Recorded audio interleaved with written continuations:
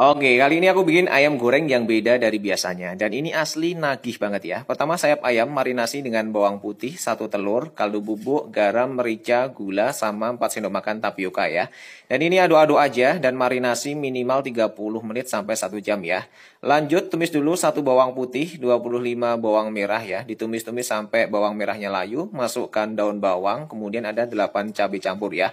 Bumbui dengan kaldu bubuk, garam, gula, saus tiram, sama merica udah ini diaduk-aduk dulu semuanya. Kemudian kalau matang sudah langsung aja matikan.